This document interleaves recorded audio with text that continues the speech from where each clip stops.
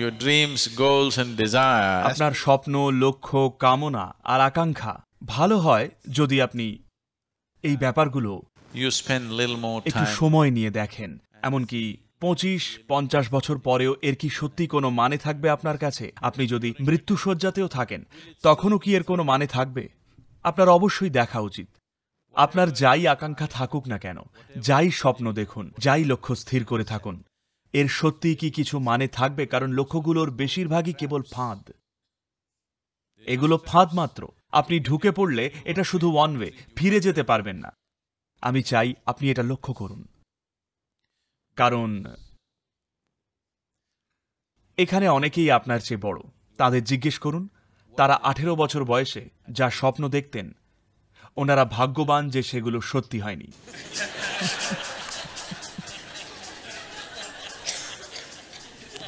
ঠিক বললাম কিনা? আপনার কামনা বাসনার সব জিনিসই যদি আপনার জীবনে সত্যি হয়ে যেত, সেগুলো নিয়ে কি থাকতে পারতেন? ভাগ্য ভালো যে আপনার বেশিরভাগ জিনিসই ছাকনিতে আটকা পড়ে কখনো সত্যি হয়নি, তাই না? তাই খুব ভালো হয় যদি আপনার বয়সী কেউ নিজেদের জীবনের লক্ষ্য স্থির করার সিদ্ধান্ত নিতে চান, খুব ভালো হয় যদি তারা নিজেদের চারপাশের সমস্ত প্রভাব থেকে একটা বিরতি নেন। সামাজিক প্রভাব পরিবারের প্রভাব অন্যান্য প্রভাব কোথাও সরে গিয়ে আশ্রমটা সেই জন্যেই। কোথাও সরে গিয়ে বসুন ধ্যান করুন নিজেকে স্পষ্টতা ও আনন্দের একটা নির্দিষ্ট পর্যায়ে নিয়ে আসুন। যখন আপনি খুব স্পষ্ট এবং খুশি তখন সিদ্ধান্তটা নিন। মরিয়া অবস্থায় লক্ষ্য স্থির করবেন না। তাড়াহুড়ো করে স্থির করা লক্ষ্যগুলো সেই মুহূর্তে অনেক কিছু বলে মনে হবে। কাল সকালে দেখে বুঝতে পারবেন নিজেকে কেন জড়ালেন। তাই ভালো হবে জীবনে যখন আপনি সিদ্ধান্ত নেবেন, সবচেয়ে ভালো হয় যখন আপনি খুব শান্তিপূর্ণ, খুশি এবং বিচক্ষণ তখন নিলে, তাই না? আশেপাশের কিছুর দ্বারা প্রভাবিত হয়ে নয়। আপনি একাই বসে স্থির করুন, আপনি নিজের জীবনে সত্যি ঠিক কি হতে চান? কি সেটা যার একটা স্থায়ী কদর থাকবে আপনার কাছে? অন্য কারও কাছে নয়, আপনার কাছে। আর আপনাকে তার জন্য ব্যক্তিত্ব গড়ে তুলতে হবে না আপনাকে প্রচেষ্টা চালাতে হবে। প্রয়োজনীয় ব্যক্তিত্ব নিজের থেকেই চলে আসবে। আপনাকে বুঝতে হবে ব্যক্তিত্ব কিংবা পার্সোনালিটি কি। পার্সোনালিটি শব্দটা আসছে পার্সোনা শব্দ থেকে। পার্সোনা মানে গ্রিক ভাষায় বা ল্যাটিন ভাষায় আমি দুঃখিত মানে হলো মুখোশ। এই মুখোশ তারা আগেকার দিনে use in old theaters. নাটকে ব্যবহার করতেন। এবার একই মানুষ নানান ভূমিকায় অভিনয় করবে। ধরা যাক, রামায়ণ চলছে। একজন অভিনেতাকেই রামের ভূমিকায়, সীতার ভূমিকায় এবং লক্ষণের ভূমিকায় অভিনয় করতে হবে। সবকিছুর জন্য একটাই মুখোশ রয়েছে। তিনি এই মুখোশটা তুলে রামের মতো কথা বলে নামিয়ে রাখতেন, আবার সীতার মতো কথা বলে নামিয়ে রাখতেন, আবার হনুমানের মতো কথা বলে মুখোশটা নামিয়ে রাখতেন। নাটকগুলো এইভাবেই করা হতো তখন। তো আসলে ওই মুখোশগুলোকেই উল্লেখ করা হতো পার্সোনা হিসেবে। তাই ব্যক্তিত্ব কিংবা পার্সোনালিটি মানে আপনি একটা মুখোশ ধরলেন আর সেটা আপনার মুখেই আটকে রয়ে গেল। আপনি আর টেনে তুলতে পারছেন না। তার মানে আপনার একটা ব্যক্তিত্ব রয়েছে। পার্সোনালিটি হলো এমন কিছু যেটা লোকেরা গড়ে তুলতে চাইছেন, কারণ তাদের মধ্যে সত্তাবোধটাই নেই। আসল জিনিসটার বদলে আপনি নকল জিনিসটাকে বাস্তব রূপ দিতে চাইছেন। আপনি যদি আপনার সত্তার সংস্পর্শে থাকেন, আপনি ব্যক্তিত্ব কেন চাইবেন? দরকার নেই। আপনি আলাদা আলাদা জায়গায় আলাদা আলাদা রকম ব্যক্তিত্ব হতে পারেন। আমরা মানুষরা কিন্তু আসলে তাই। আপনি কি একটা ব্যক্তিত্বেই আটকে পড়েছেন? কিছু লোক হন, সরলমতি মানুষদের কেবল একটাই ব্যক্তিত্ব থাকে, কিন্তু বাকিদের জীবনে আলাদা আলাদা ক্ষেত্রে আলাদা আলাদা ব্যক্তিত্ব থাকে। তাই না? If ইউ had সিন আপনি যদি আমাকে দেখে থাকেন উনিশশো নিরানব্বই সাল নাগাদ মানে ধ্যানলিঙ্গের প্রাণ প্রতিষ্ঠার আগে, আমি একেবারে আলাদা রকমের মানুষ ছিলাম। কেমন? এতটাই আলাদা যে আমার সবকিছুই একদম অন্যরকম ছিল। তবে তার আগেও অনেক কিছু ঘটে যা আমার ঊর্ধ্বে ছিল, কিন্তু সেটা সচেতন ছিল। তা সেই সময় আমি নির্দিষ্ট একটা লক্ষ্যের প্রতি একনিষ্ঠ ছিলাম, তাই একরকম ভাবে ছিলাম। আর পরে আমি ভাবিনি যে তার পরেও আমি বাঁচব, কিন্তু কোনোভাবে সেটা হয়ে যায়। তখন আমি ভাবি যে আচ্ছা কাজটা যখন হয়ে গেছে, নিজের ব্যক্তিত্বটা এবার পাল্টে ফেলি। এক্কেবারে। সেটা পূরণ করতে আমি একটা নির্দিষ্ট ব্যক্তিত্ব আয়ত্ত করেছিলাম। আর এখন যেহেতু সেটা হয়ে গেছে, এবার আমি পাল্টে ফেলব। আর আমি সবাইকে বলেছিলাম, দেখুন, আমি আমার ব্যক্তিত্বটা পাল্টে ফেলছি। ঘাবড়ে যাবেন না, আমি আগের মানুষটাই আছি। তারা বলেছিলেন, কোনো ব্যাপার না, আমরা বুঝতে পারছি। আমি বলেছিলাম, শুধু ভরসা রেখো, কারণ অনেক কিছু পাল্টে যাবে। আমার সব কিছু পাল্টে যাবে, আমার কাজ করার ধরন, আমার কথা বলার ধরন পাল্টে যাবে, পোশাক আশাক পাল্টে যাবে, আমার সব কিছু পাল্টে যাবে। তারা বলেছিলেন কোনো ব্যাপার নয় আমরা আপনাকে চিনি ভালোবাসি ইত্যাদি ইত্যাদি। আমি বলেছিলাম ঠিক আছে ভরসা রেখো কারণ পরিবর্তনের সময়টাতেই লোকে হারিয়ে যান। অনেক মানুষই হারিয়ে গেলেন কারণ তারা বিশ্বাসই করতে পারেননি যে তাদের সেই চেনা লোকটা গেল কোথায়। সেই লোকটা তো একেবারে উধাও। এ এক নতুন মানুষ। তারা এই নতুন মানুষটাকে চিনতেই পারছেন না। আমি তাদেরকে বলেই পাল্টেছি। তা সত্ত্বেও তারা হারিয়ে গেলেন। তাদের অনেকেই অনেকেই যারা আমার খুব প্রিয় ছিল, খুব কাছের ছিল, ছেড়ে চলে গেছেন। যেহেতু আমি এতটাই নাটকীয়ভাবে পাল্টে গিয়েছিলাম, আমি ওদের বলেছিলাম আমি পাল্টাবো, কারণ কাজের একটা পর্যায় শেষ হয়েছে। এখন আমার ব্যক্তিত্ব পাল্টানোর সময়। আমায় যেমনটা দেখায় জামা কাপড়ের ধরন, কথা বলার ধরন, আমার একান্ত অস্তিত্বটাই, আমার বিষয়ে সবকিছুই, এমনকি আমি পছন্দের খাবারটাও পাল্টে ফেলি। আমি নিজের ব্যক্তিত্বটা যখন পাল্টালাম, ভাবলাম খাবারটাও পাল্টে ফেলি। তো ব্যক্তিত্ব হলো এমন একটা জিনিস যেটা আপনি পড়ে রয়েছেন। কিন্তু আপনি এই বিষয়ে এতটাই অসচেতন হয়ে পড়েছেন যে আপনি মনে করবেন এটাই সত্যিকারের আপনি। আপনি জিজ্ঞেস করছেন যে কি করে ব্যক্তিত্ব গড়া যায়, তার মানে আপনি তৈরি করছেন এটা, তাই তো? গড়ে তোলার আরেকটা শব্দ হলো তৈরি করা, তাই না? আপনি ব্যক্তিত্ব তৈরি করছেন, আপনার কাজকর্মের ধরনের সাথে মানানসই করে তৈরি করছেন কিন্তু এর ফলে উল্টোটাও ঘটতে পারে। এটা যদি আপনার মুখে আটকে যায় তখনই এটা যন্ত্রণা হয়ে ওঠে। তখনই সব ভোগান্তি এসে জোটে।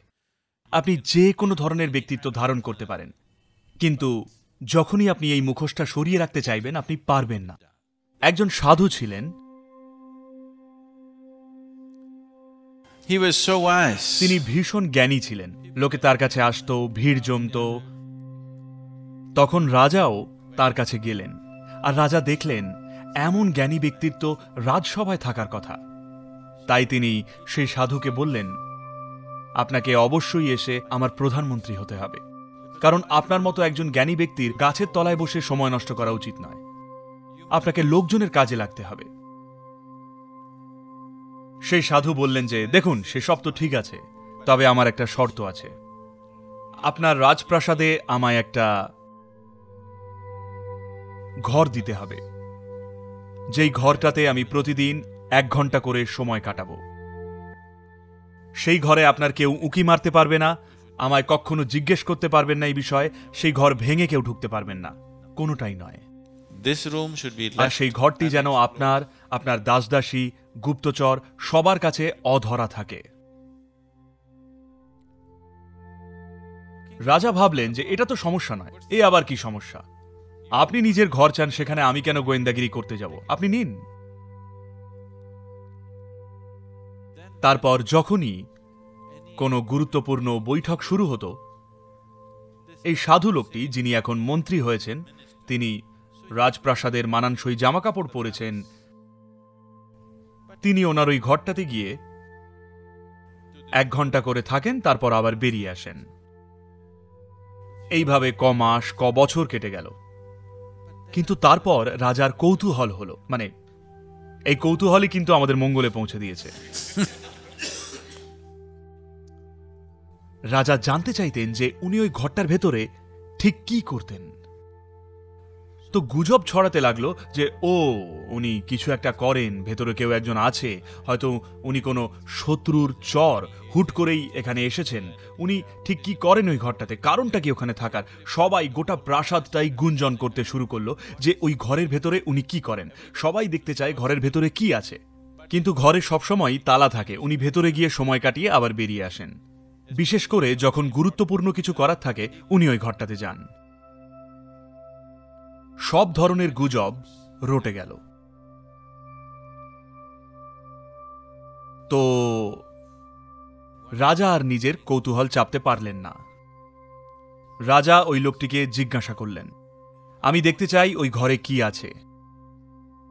উনি বললেন যে, আপনি আমায় একটা প্রতিশ্রুতি দিয়েছিলেন। আপনি যদি সেটা ভঙ্গ করেন, তাহলে আমি চলে যাব। তো রাজা সামলে যান। উনি লোকটিকে হারাতে চান না, কারণ লোকটি জ্ঞানী। আর তারপর রাজার অন্য সভাসদরা বললেন, আপনি কি করে এটা মেনে নিতে পারেন? আমরা জানি না ভেতরে কি হচ্ছে, বিপজ্জনক কিছু হতে পারে, এটা হতে পারে, সেটা হতে পারে। তারপর একদিন যখন ওই লোকটি ছিলেন না, রাজা দরজা ভেঙে ভেতরে ঢুকলেন। ঢুকে চারিদিকে দেখলেন, ঘরটা একদম খালি, আসবাবপত্র কিচ্ছু নেই, এক্কেবারে খালি একটা ঘর। তারা দেখলেন যে কিচ্ছু নেই। তাহলে করেনটা কি উনি? তারপর ঘরের একটা কোণে ওনারা দেখলেন, খুবই মানে ছেঁড়া খোঁড়া জামা কাপড় ওখানে ঝুলছে আর রয়েছে ভিক্ষাপাত্র। তারা চলে এলেন। তারা ব্যাপারটা বুঝতেই পারলেন না। তখন উনি এসে বললেন, যা দেখতে চেয়েছিলেন তা দেখেছেন তো? রাজা জিজ্ঞেস করলেন, আপনি কি করেন এখানে? উনি বললেন যখনই আমার কোনো গুরুত্বপূর্ণ সিদ্ধান্ত নেওয়ার থাকে, আমি এখানে এসে আমার ছেঁড়াখোঁড়া জামা কাপড় পরে ভিক্ষার বাটিটা নিয়ে বসে পড়ি। স্পষ্টতই, জানেন তো, আমি প্রাসাদের এসব জিনিসপত্রের ফাঁদে পড়তে চাই না। আমি চাই না আমার জ্ঞান এইসব জামা কাপড় গয়নাগাটি বা এইসবের ভিড়ে হারিয়ে যাক। তাই আমি এখানে এসে এই জামা কাপড়গুলো পরে ভিক্ষার বাটিটা নিয়ে বসে সিদ্ধান্ত নিই আর আমি বেরিয়ে আসি। কিন্তু আপনি কথা রাখেননি, এটা বলে তিনি চলে গেলেন। তো ধ্যান আপনার জন্য ঠিক এই রকম। প্রতিদিন যখন আপনি বসেন, নিজেরই পুরনো খোলস ছেড়ে বেরিয়ে আসেন। আপনাকে এই বিষয়ে কিচ্ছু করতে হবে না। আপনি যদি শুধু বসে থাকেন, দেখুন, যা কিছুই বানানো কৃত্রিম, তাকে সবসময় ঠেকনা দিয়ে যেতে হয়, তাই না? ধরুন আপনি একটা মিথ্যে কথা বললেন। It needs constant সেটা ধরে রাখতে নিয়মিত ঠেকনা দিয়ে যেতে হয় তাই না? কিন্তু যদি কিছু সত্যি বলেন এমনকি আপনি সেটা ভুলে গেলেও তাও সেটা থেকে যায় তাই না? বুঝতে পারছেন কি বলছি? কিছু যদি সত্যি হয় আপনি ভুলে গেলেও সেটা রয়েই যায় সেটাকে ঠেকনা দিতে হয় না। কিন্তু সেটা যদি মিথ্যে হয় আপনাকে ধরে রাখতে হয়। আপনার ব্যক্তিত্ব হলো একটা মিথ্যে। আপনার সত্তা, আপনার অস্তিত্ব, সেটাই হলো সত্যি। এটাই আপনাকে ধরে রাখতে হয় না। এটা যে কোনো অবস্থাতে থাকে।